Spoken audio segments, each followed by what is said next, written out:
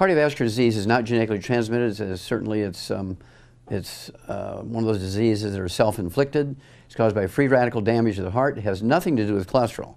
There's no heart disease that has anything to do with cholesterol. Clogged arteries is not due to cholesterol.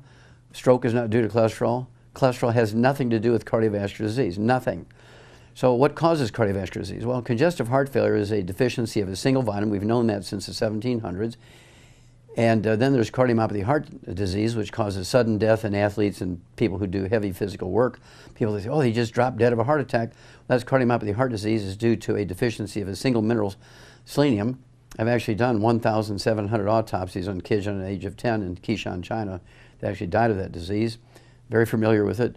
And then, of course, there is coronary thrombosis, which is caused by an omega-3 essential fatty acid deficiency, or a ratio problem between omega-3s, 6s, and 9s.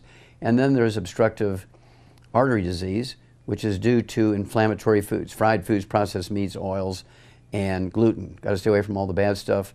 And of course, you want to protect yourself. You take the 90 essential nutrients. I like the uh, healthy heart and brain pack for this one 16 minerals, 16 vitamins, 12 essential amino acids, 3 essential fatty acids, one healthy heart and brain pack per 100 pounds of body weight. I also like to throw in uh, the extra de-stress capsules, three of those twice a day uh, per 100 pounds of body weight, and you're home free.